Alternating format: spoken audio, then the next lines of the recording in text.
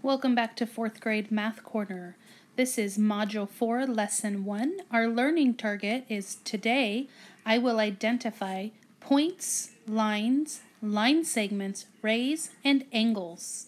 This is a new unit. This is a unit on geometry. Geometry are shapes. This is going to, we're going to talk about angle and angle measures and plane figures. Plane figures are shapes that lay flat on a surface or a plane. They're two dimensional. We are going to look at the parts that make up these figures.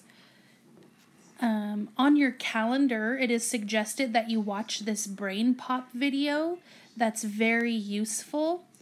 Mrs. Iacano was awesome and has a username and password that everybody can use when you go onto the BrainPOP, you are going to look in the math section under geometry for points, lines, line segments, and rays. The username you will enter is Harris Iacano with a capital H and a capital I. And your password is Bethel1 exclamation point with a capital B. When you get there, it will look like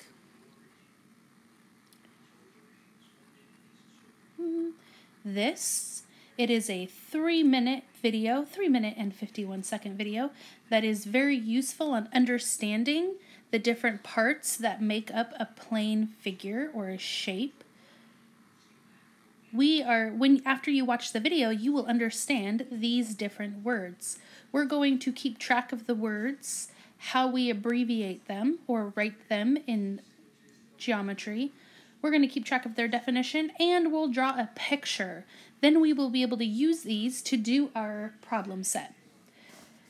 A point, we often will just draw a dot or a location in on a plane or just a virtual surface.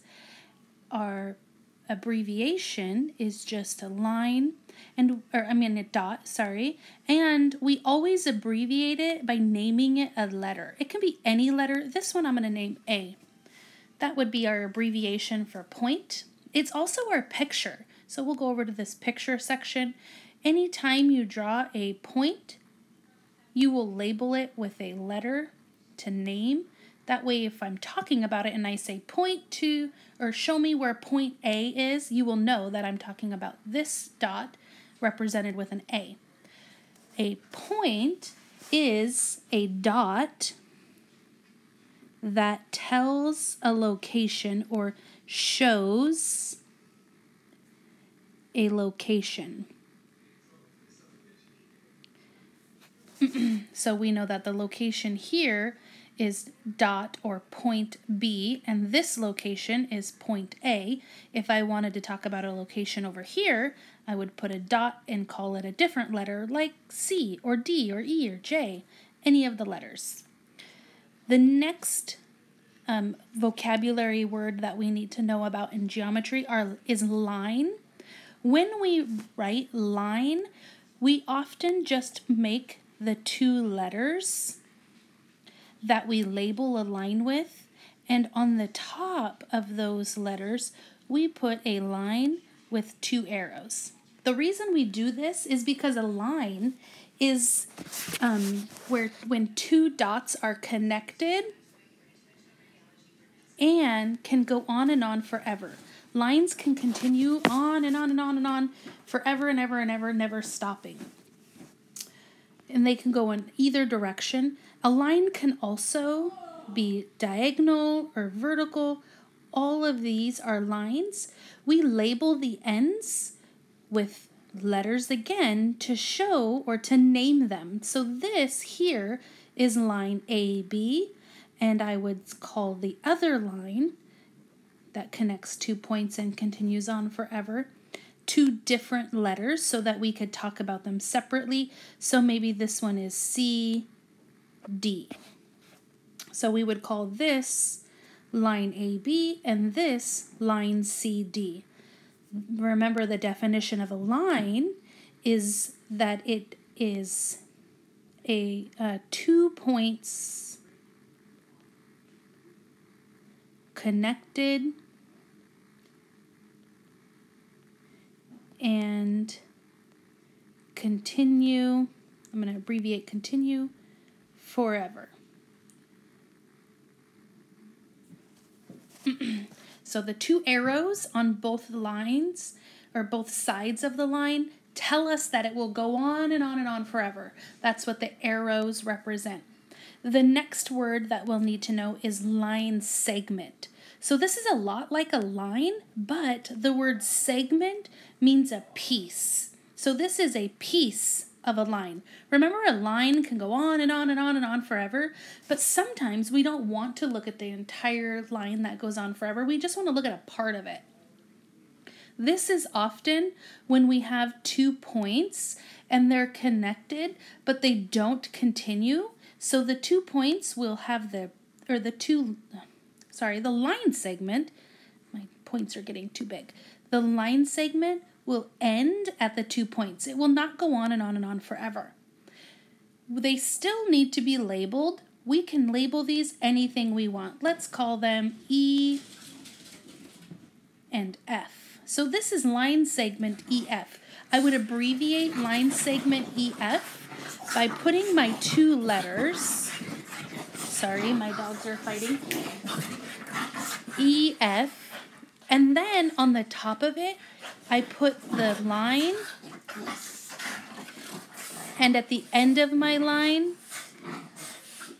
I can put the dots, or because my line already has the two arrows, my line segment, I just put the line. the next, oh, sorry, I forgot to put the definition. A line segment is a piece of a line. It's the only piece that is connected with two dots. And it doesn't have arrows because it doesn't go on and on forever. A ray is like a line and like a line segment. It's like a line and a line segment combined. Have you ever thought about um, the word ray like in a sun ray, where the sun rays start at the sun and they continue down to earth and they can go on and on and on?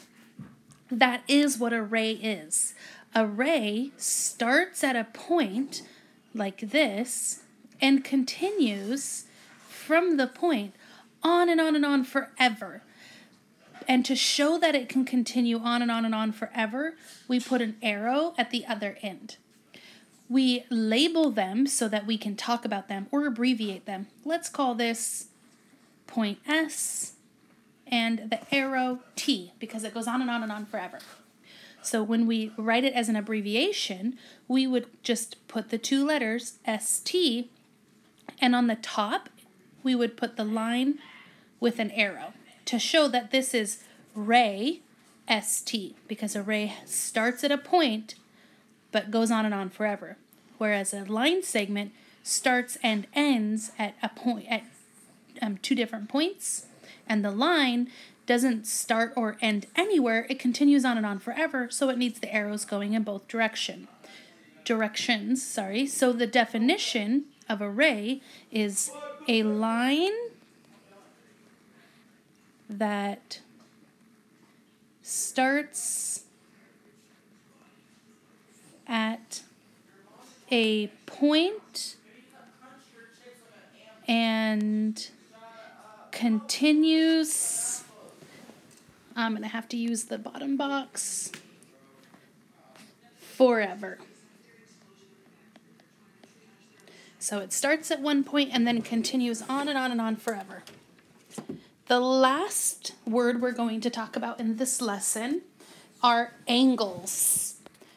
So it's down here. Angles are created with two um, rays. So an angle can be created by connecting two rays. They have to share the same point. So I'm going to make sure that we know this goes up there. And so we have, let's say we start at this point and we'll call it V. And then we have a ray go out and another ray go out this way. I'll use an arc, an arc here to show that this is the angle. The angle is the space between the two rays. When we have the space between two rays, we need to know the start point, the point that they share, and we need letters for the arrows to show that they continue on and on and on forever. So if I have V on my point, I need two other letters to represent my angles. I'll do W and X. So when I call this an angle, what I'm talking about, again, is the space between the two um, rays. So the angle is actually this space here. And I have an arc, this um, like circle type line inside of my angle is my arc. It's showing the space that is called the angle. When I abbreviate this, the abbreviation for angle is I make a little angle and then I put the um, three letters that make this angle. The tricky thing is, is that the um, there are three letters and the inside letter, the middle letter, needs to be the point that they share. So I'm actually going to start with one of my arrows. So I'm going to say this is angle W because that's here at the top. My point that they share is in the middle, so V. And then I'm going to put the, whoops, sorry, the last um, point, which is my X. So this is angle WVX. And I've already said an angle, the definition of an angle is the space between two rays that share the same endpoint. And that same endpoint is here. All right, so we're going to use this information to solve some problems in your problem set. I have the homework problems, or the one of the homework problems. If you accidentally got a homework book, that's okay we're going, it looks just like the problem set. It says, use the following directions to draw a figure in the box to the right. So remember, a figure is a shape or um, uh, something on a flat surface that uses all these vocabulary words to create them. So you're going to go in order of the directions. The directions say draw two points, W and X. It doesn't matter where you draw them, Points are just any location. So you can pick to draw them anywhere. I'm going to draw W here. Uh, I decided not to. I'm going to draw W here and label it. And I'll draw X there. And remember, I have to label it. Then use a straight edge to draw WX. I don't have a straight edge. A, straight edge is like a ruler, but I can draw it as straight as I as possible and I'm just trying to draw WX to connect but if you notice I'll zoom in because it's hard to see if you notice this has a line with oh it's a little bit it's kind of cut off on the bottom a line with an arrow which means I have to draw a ray so I'm going to draw and it doesn't matter which direction I'm going to draw my ray going this way. I went kind of past my dot on accident, but that's okay because I need to have my arrow. My dots were too small. There's ray, WX.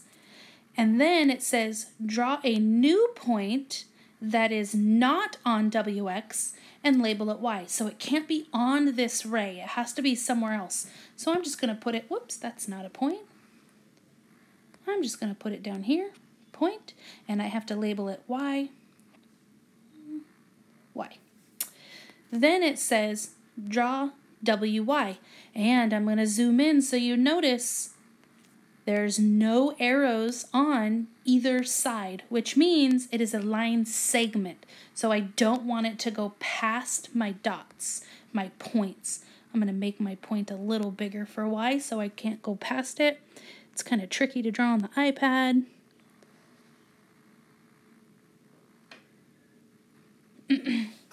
so there's my line segment WY. Then it says draw a point not on WX or on WY, call it Z. So maybe I'm going to come over here. I want to make it a little bigger so we can see it.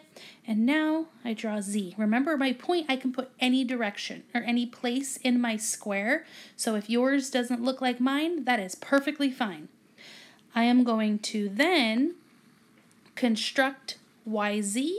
And if I zoom in, I see that this is YZ with an arrow in both directions. So it is a line.